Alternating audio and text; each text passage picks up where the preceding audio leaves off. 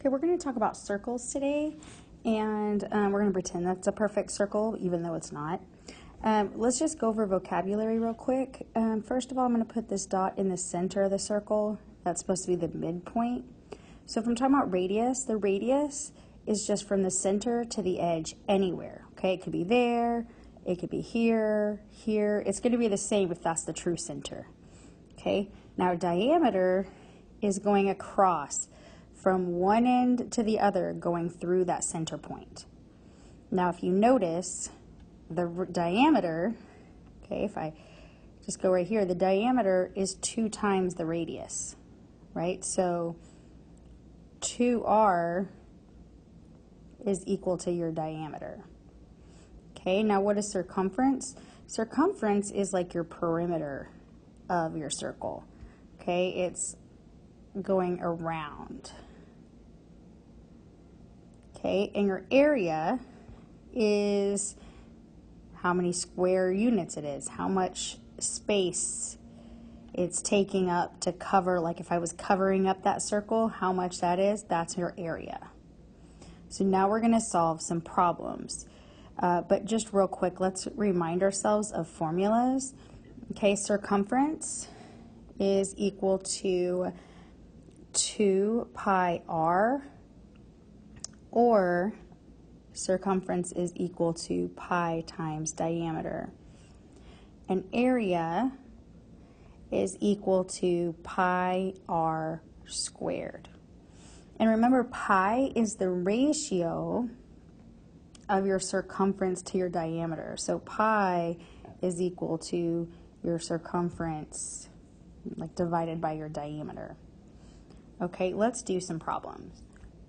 Okay, you buy a circular rug with a diameter of 8 feet. How much floor space will the rug cover? Well, first of all, am I talking about area or circumference?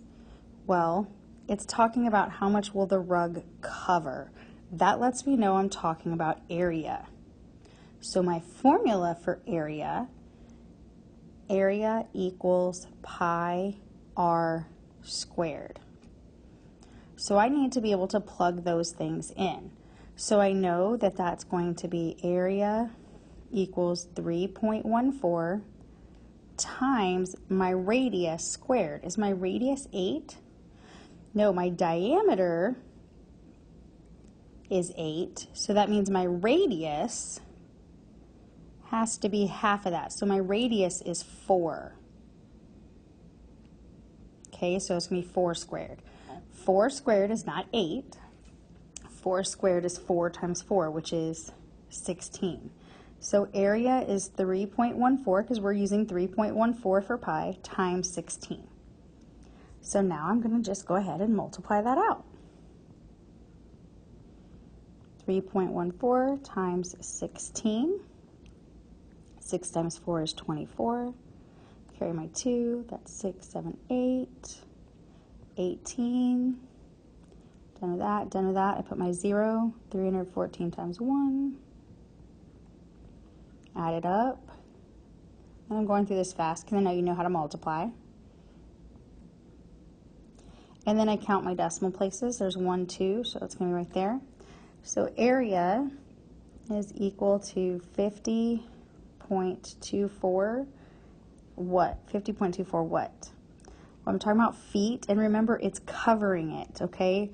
So I want to cover this up, so that means it's square units because it's covering it. It's like square. So that's going to be, since we know our units is feet, we're going to say square feet.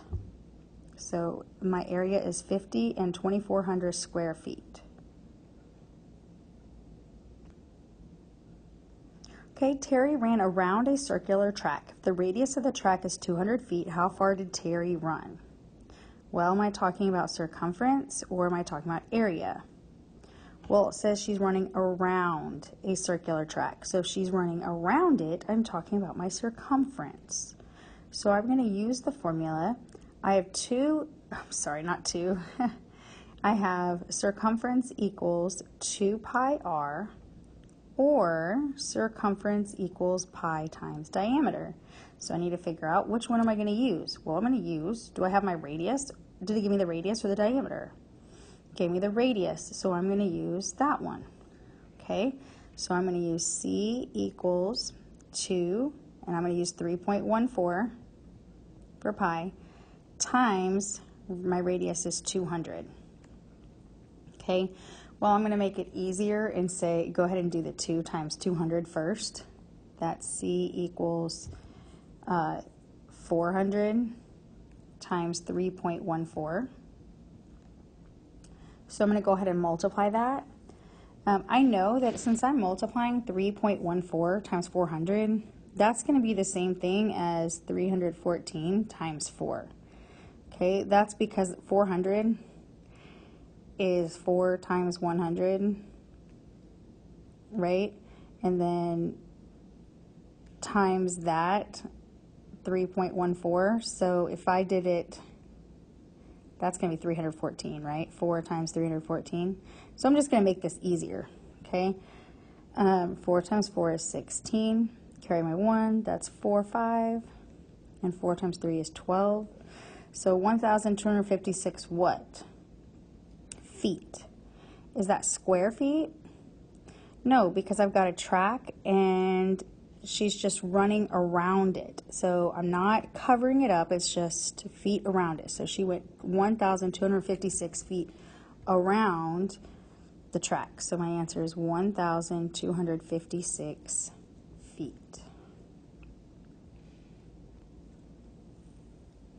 Sue had a circular picture that she wanted to frame. If the picture's diameter was 7 and 5 tenths inches, how much framing material did she need? Okay, so here's my picture right here. I know that's a beautiful picture. And I need to put a frame around it. So the frame goes around a picture, right? So if I'm talking about a frame, am I talking about area or circumference? I don't want to cover up my picture. I want to put the frame around it. So if I'm talking about the frame, I'm going to talk about circumference. And again, I have circumference equals 2 pi r or circumference equals pi times diameter. So did it give me the diameter or the radius? Well, it says the diameter was 7 and 5 tenths inches. So it gave me the diameter. So I'm going to use the formula that has diameter in it. So I'm going to use C equals 3.14 times 7.5 or 7 5 tenths. So I'm going to go ahead and multiply that.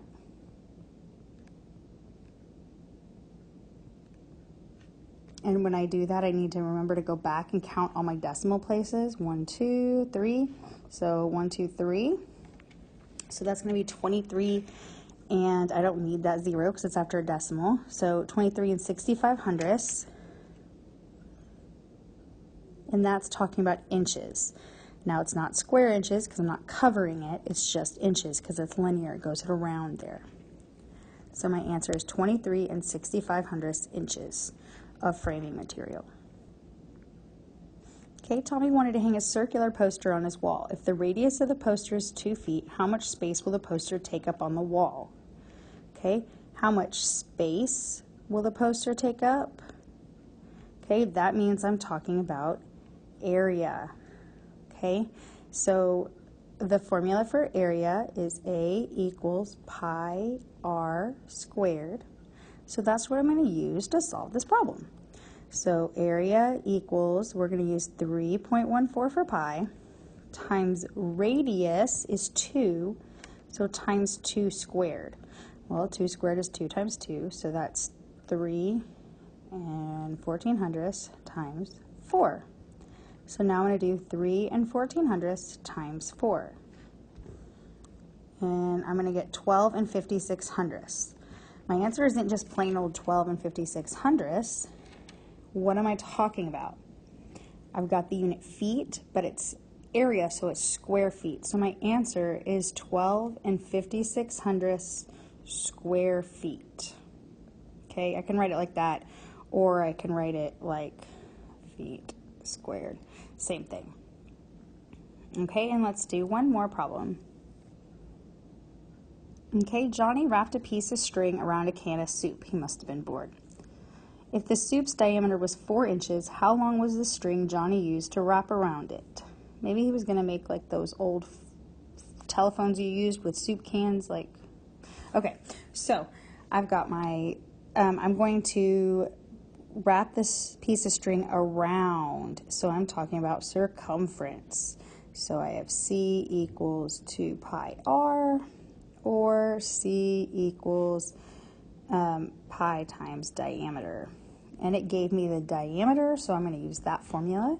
So I'm going to use C equals 3.14 times 4. So I'm going to go ahead and solve that.